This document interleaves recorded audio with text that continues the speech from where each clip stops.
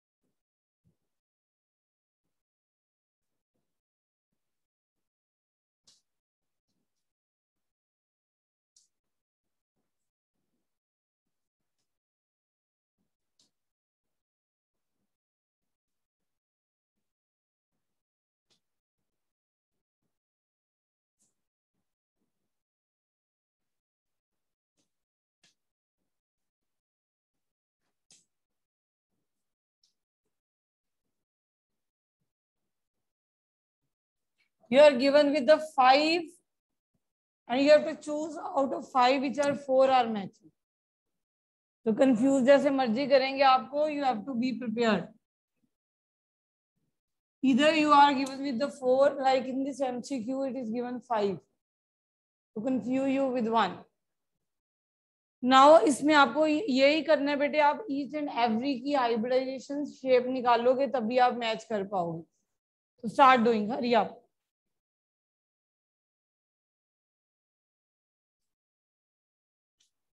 First की पहले निकालो देन मैच करो।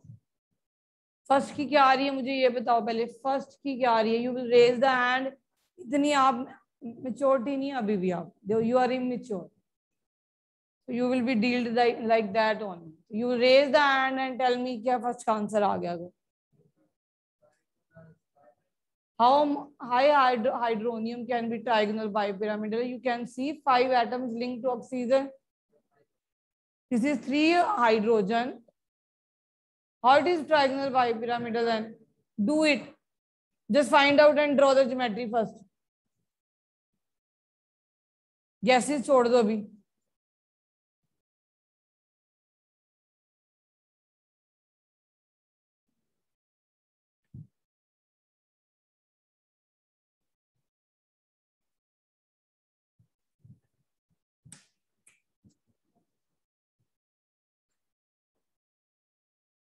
अगर फ़र्स्ट नहीं हुआ जिसका देन शी और he can raise the hand क्यों आएगी sp3d how can be oxygen have D orbital just imagine oxygen के पास डी है ही नहीं है. It is two S two P two D कहाँ है? तो डी तो कभी पहुंचनी नहीं है इसमें. अर्शदीप ने निकाल लिया आंसर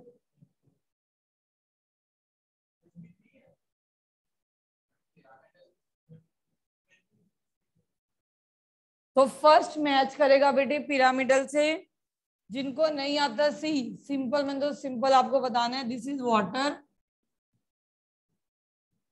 with V shape यही वाटर होता है।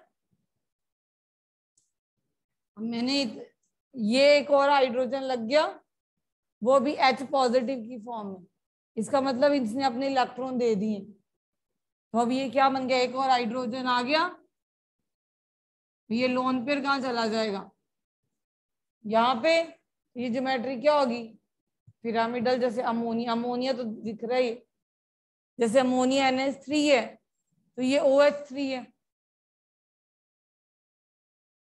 तो first A is matching with the fifth one no second आ जाओ B hurry up B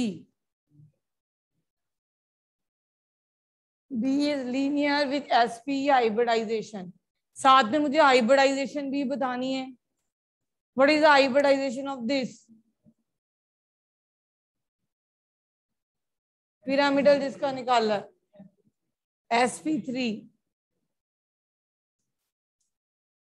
this is S P and हमने बी के साथ मैचिंग करी है। देन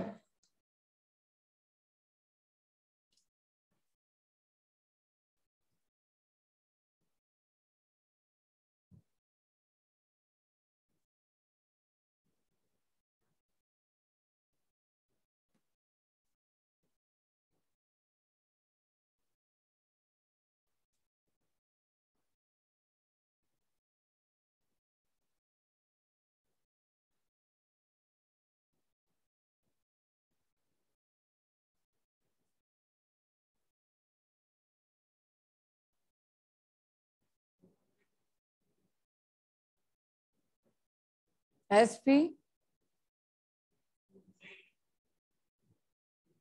क्या है आपका? ज्योमेट्री क्या आ रही है? ज्योमेट्री क्या आएगी?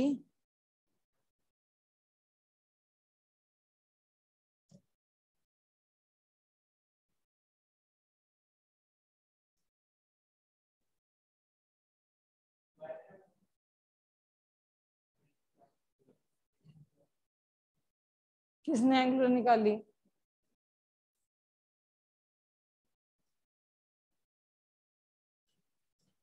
अब देखो आपकी कहाँ गलती।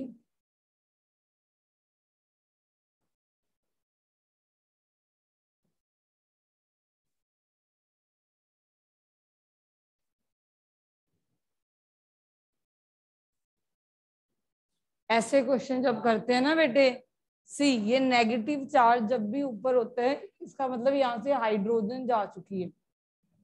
ये कुछ इस वे में है। H C L O two से आया है। जब इसकी एक हाइड्रोजन निकल जाएगी, तभी नेगेटिव आया है। अब ये हाइड्रोजन ऑक्सीजन के साथ लगी होती है। और ये कुछ इस तरह का स्ट्रक्चर होता है। C L double bond O single bond O H angle बन गया ना एक बाकी लोन पेयर बच गए।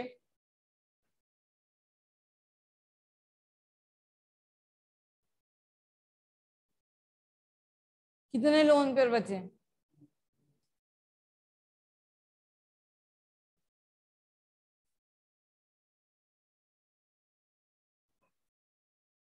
समझ आई? आप एटम कनेक्टेड भी देखा करो। Oxygen at a time double bond बनाता है। अगर एक ऑक्सीजन जैसे अब कार्बोनेट लिखते हो, देखो अब याद करते रहते हो कार्बोनेट का। टू नेगेटिव का मतलब ये होता है बेटे, टू नेगेटिव का। अब इसको समझो इस बात को। फिर आप क्रैम करते हो सी के साथ एक डबल बॉन्ड ओ बनाना है, फिर सिंगल बॉन्ड हो ऐसे याद करते हो ना आप। ये सोचो, ये टू नेगेटिव इसके कारण आए है, क्योंकि इसमें से टू हाइड्रोजन जा चुके हैं। समझ आ रही है? ये जो टू हाइड्रोजन जा चुके हैं, ये दो ऑक्सीजन के साथ लिंक्ड होंगे, मगर एक ऑक्सीजन वैसे का वैसे रह गया। जो एक ऑक्सीजन वैसे का वैसे रह गया, वो डबल बॉन्ड है। और बाकी सिंगल बॉन्ड है, जिनके साथ एक एक हाइड्रोजन लगा हुआ है। जब ये हाइड्रोजन निकल जाते हैं तभी यहाँ पे वन नेगेटिव वन नेगेटिव आता है। जब रेजोनेंस स्ट्रक्चर करते हो तो यू क्रैम की कैसे स्ट्रक्चर बनाए? ये क्रैम करने की ज़रूरत नहीं होती बेटे। Oxygen at a time two bonds बनाने होते हैं। सिर्फ़ पर ऑक्साइड्स को छोड़ के। अदरवाइज़ ऑक्सीजन टू बॉन्ड्स बनाती है एट ए टाइम अगर ऑक्सीजन डायरेक्टली लिंक है तो डबल बॉन्ड बना देगी। और उसके बाद हाइड्रोजन लिंक है तो एक बॉन्ड यहाँ बन जाता है, एक बॉन्ड यहाँ बन जाता है। समझ आ रही है? Most of the time I have seen whenever you will do resonating structure आपको ये कार्बोनेट का स्ट्रक्चर ही नहीं बनता आपसे। आप याद करते रहते हो कि यहाँ डबल बॉन्ड आना है या सिंगल बॉन्ड आना है। थोड़ा सा समझो कि ऑक्सीजन ने एट ए टाइम दो बॉन्ड बनाने ही बनाने उसका जन्म सिद्ध अधिकार है। डबल बॉन्ड के बिना ज़िंदा नहीं रह सकती।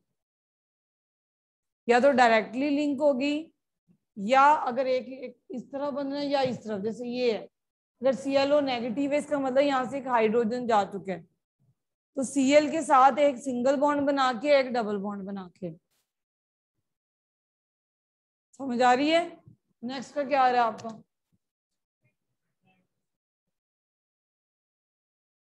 तो next is tetrahedral one more match of the following देखो ऐसी।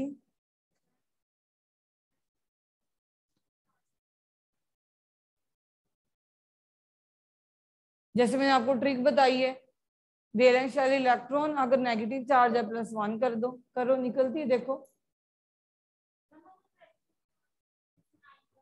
नाइन बाई एट नहीं आएगी, उसका बचेगा आपका रिमाइंडर उसको टू से डिवाइड करोगे।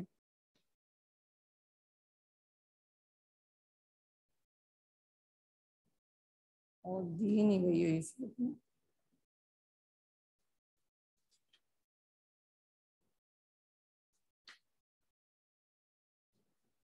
मिल गई।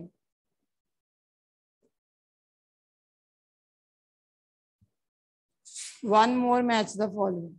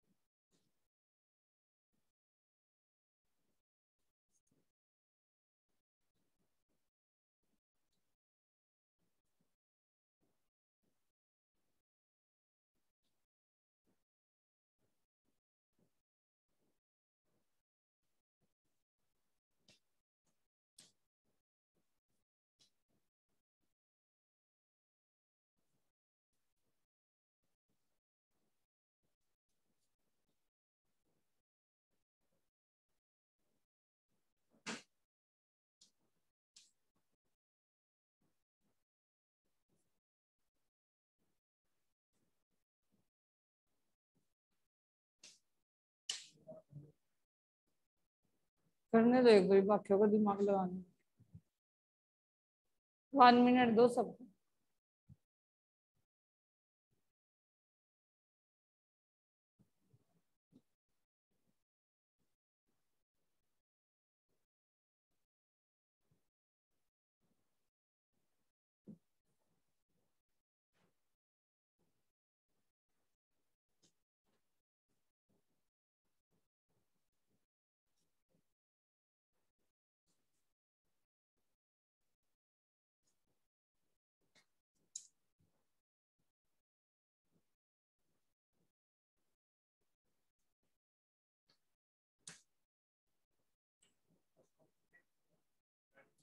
hydrogen bond B option resonance ionic solid carbon C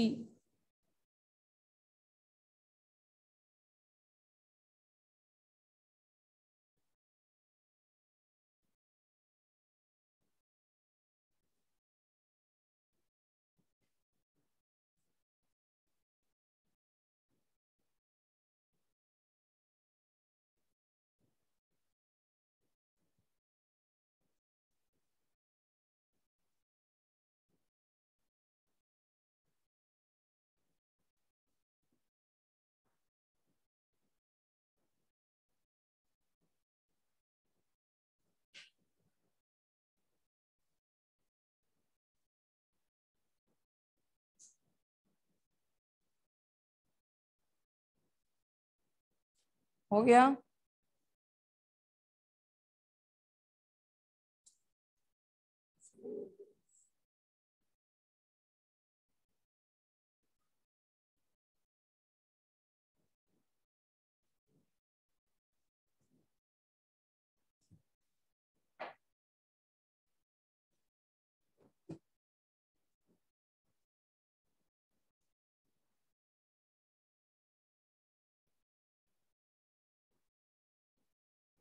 Hydrochloric acid, sodium hydroxide. हाँ जी हो गया सबका? फ़र्स्ट ऑप्शन क्या आई है आपकी? वन हाइड्रोजन फ्लोराइड ठीक है फ्लोरीन की सबसे ज़्यादा इलेक्ट्रोनेगेटिविटी रेजोनेंस ओजोन ठीक है? Ionic bond lithium fluoride metal non metal covalent solid carbon graphite diamond की फॉर्म में ये कोवलेंट सॉलिड हो जाएगा। ठीक है? तुम्हारा बचा गया हाइड्रोजन इसे कहते हैं मॉलिक्यूलर एक मॉलिक्यूलर की तरह फिर मॉलिक्यूलर सॉलिड मॉलिक्यूल की फॉर्म में है ये। छोटे छोटे मॉलिक्यूल है ना?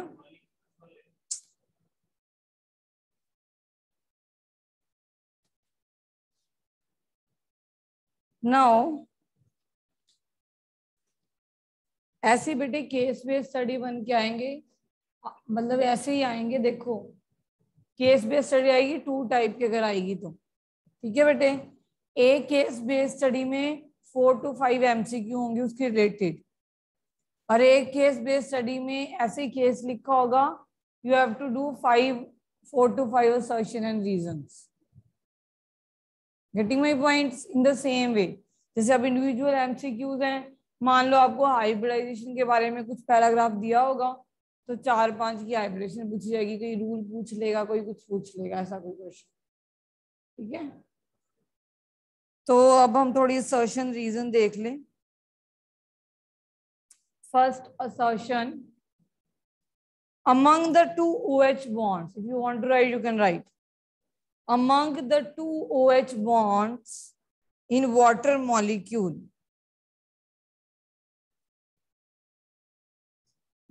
Among the two OH bond in the water molecule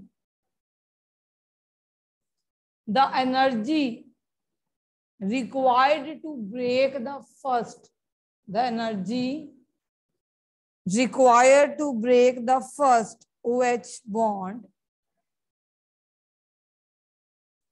and other OH bond is same.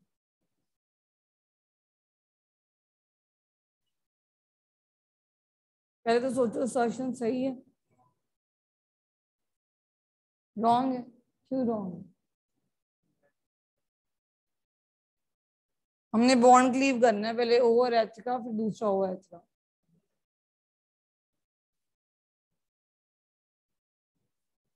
तो उच्ची बोला अगर मास्क से हमारे तक आवाज़ नहीं पहुँचती आपकी।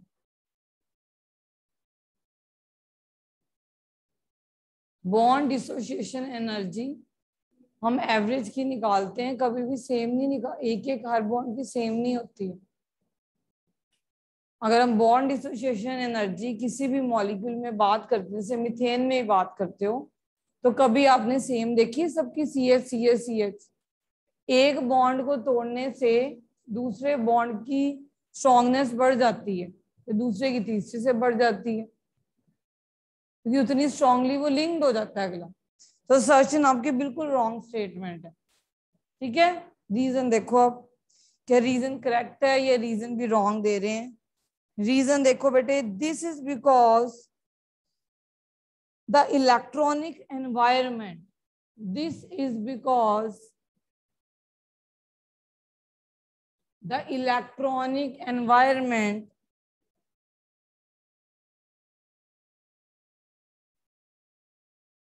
around oxygen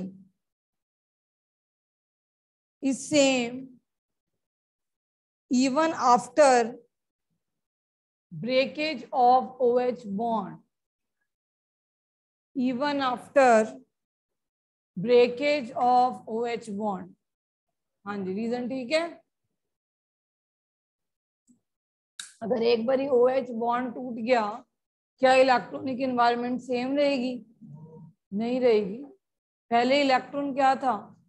शेयर्ड में पड़ा था। अब वो अनशेयर्ड में चला गया। कहाँ सेम है? सेम है ही नहीं है। तो सर्चन और रीजन बिल्कुल फॉल्स है। दोनों ही फॉल्स हैं।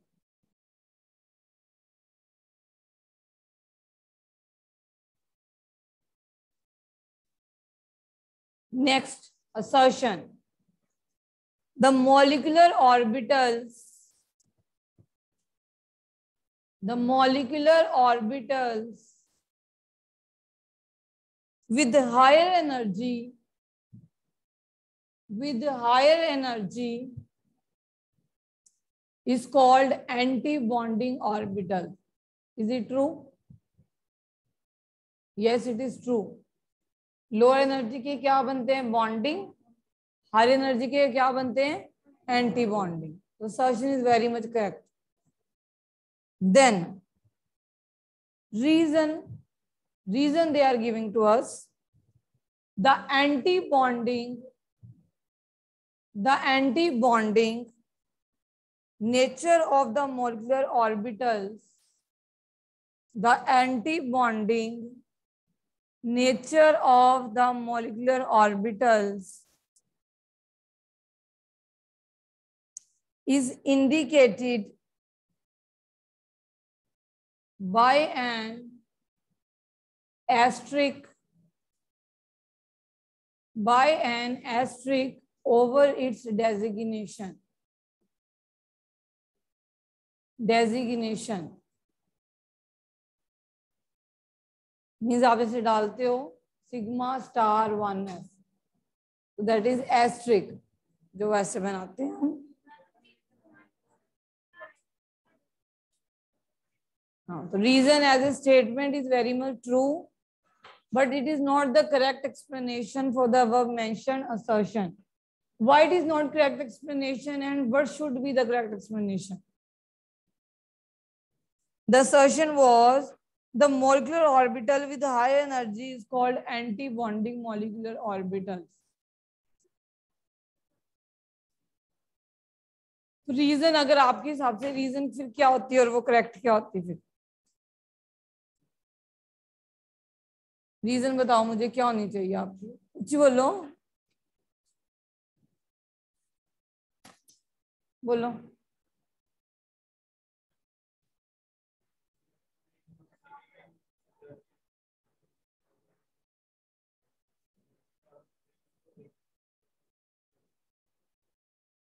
एनर्जी ज़्यादा बढ़ जाएगी।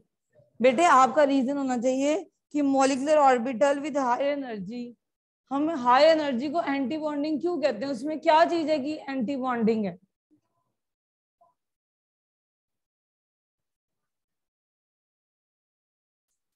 क्यों रोकती है बॉन्ड करने से? रीजन क्या होनी चाहिए?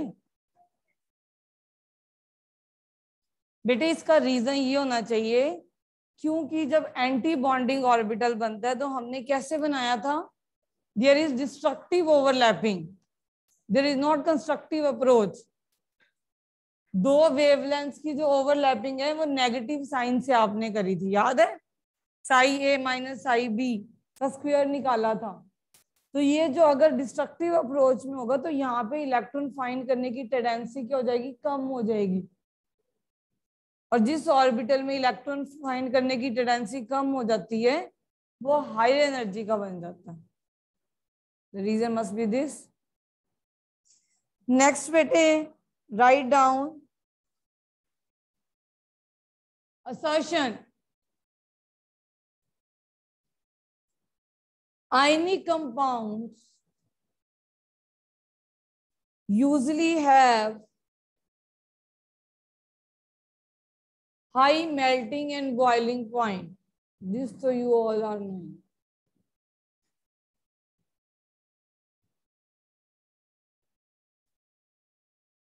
Ionic compound usually have high melting and boiling point.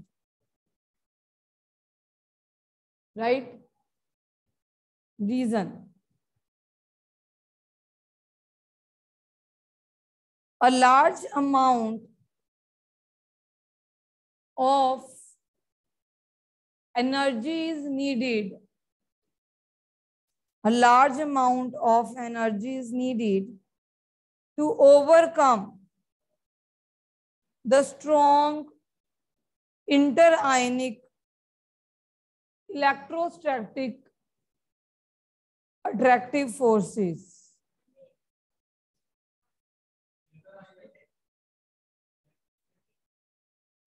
interionic electrostatic attractive forces.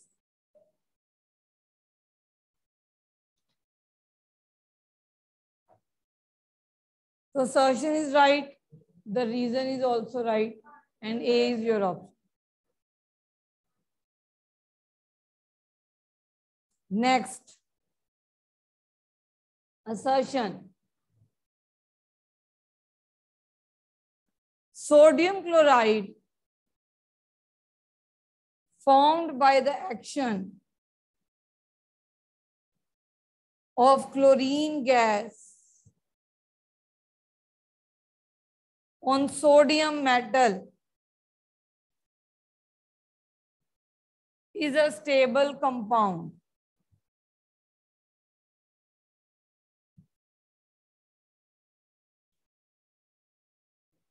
Chloride formed by action of sodium metal. Now, chlorine gas on sodium metal is stable compound. Is it so? NaCl is a stable compound. Assertion is very much right. Reason. This is because sodium and chloride ions acquire octet in sodium chloride formation.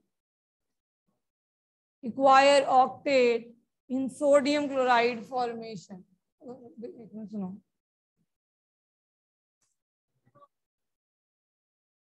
हाँ जी, हम क्या थे? हाँ reason लिख ली?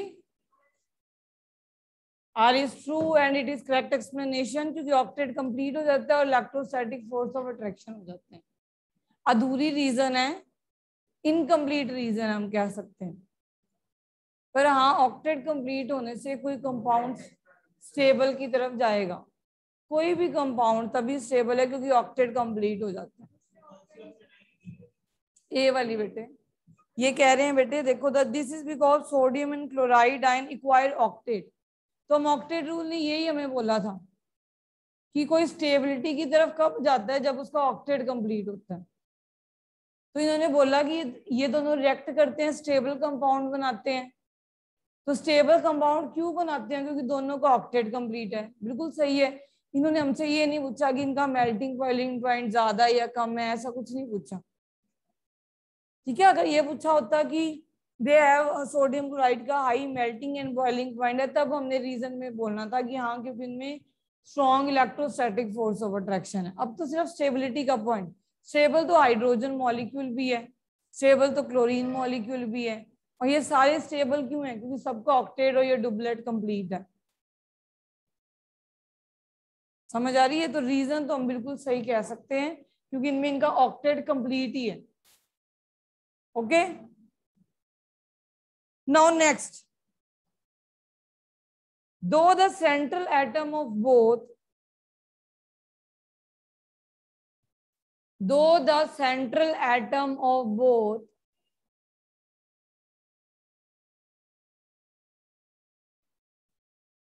NH3 that is ammonia NH3 and water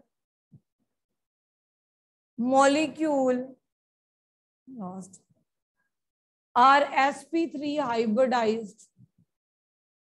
Are sp3 hybridized yet H and H bond angle and H H and H bond angle is greater than HOH. H and H is greater than HOH. Is it so? Ammonia is a pyramidal. Water is a band. Angular. With two lone pairs. Ammonia में एक lone pair होता है. Ammonia कुछ ऐसा दिखता है आपको.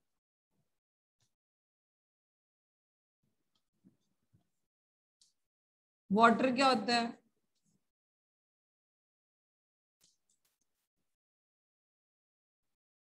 एक का बॉन्ड एंगल 109 के करीब होता है.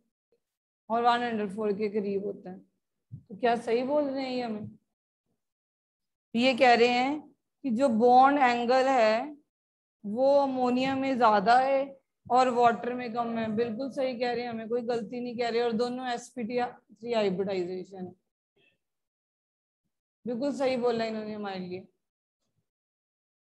ठीक है? अब रीजन बोल रहे हैं this is because nitrogen atom has one lone pair and oxygen atom have two lone pair reason भी बिल्कुल सही है। Nitrogen atom has one lone